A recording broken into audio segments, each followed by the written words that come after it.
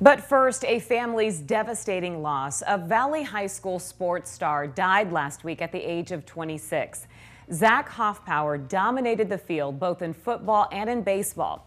He also battled depression and suicidal thoughts before being diagnosed with chronic Lyme disease. Tonight, Zach's mother looks back on the time that she spent with her son, all in an effort to understand why and how this could have happened.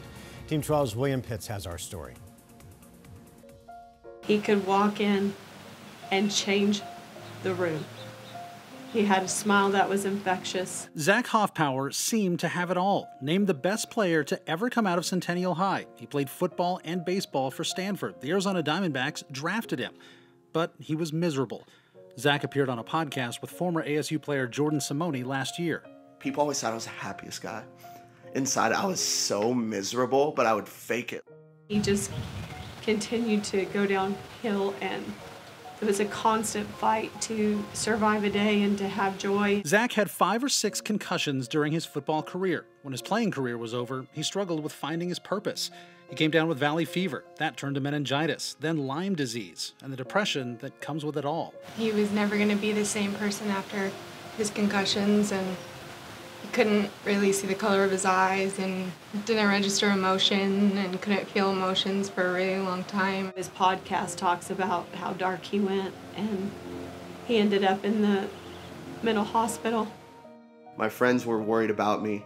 Um, I was suicidal beyond whatever you could imagine. Like I was like, I'm done. Like I have nothing else to give. I did try to take my own life. I I tried to overdose. Yeah, I just I wanted. It was almost a cry out for help. Mm-hmm.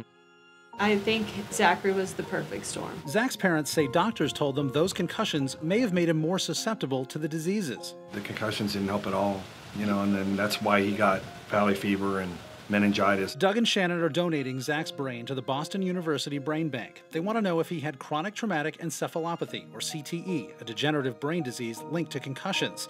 They hope maybe it can help other players. Exactly what happened, the medical examiner hasn't made a ruling. Zach's family hopes people will remember him the way they remember him caring, compassionate. He would say, It is not about what you do, it is not about your accomplishments, it is about who you are. Because some of his lowest places, he would look around at other broken people and he would say, These are my people. William Pitts, 12 News. Okay, Will, thanks. Uh, we want to say our thoughts, first and foremost, are with Zach's family and let you know that there are resources out there. If you're facing days where you feel overwhelmed with anxiety or depression, the Cactus Coalition is a group of influencers working to find solutions, and that includes MASK, Mother's Awareness of School Age Kids, and also the Arizona Interscholastic Association. For more information, just go to cactuscoalition.com.